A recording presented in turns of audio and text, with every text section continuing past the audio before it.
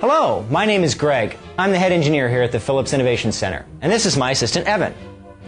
Our Philips Sonicare power toothbrushes are very unique. Today, I'm going to illustrate the mechanics with what I like to call the Philips Sonicare triangle.